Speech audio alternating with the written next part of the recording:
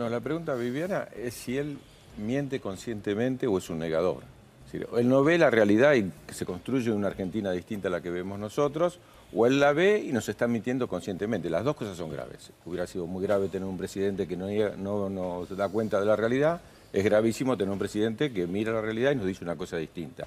No hay ninguna base, estamos mucho más endeudados, estamos es como decía algún, dijo un chileno alguna vez, estábamos al borde del precipicio, hemos dado un paso adelante.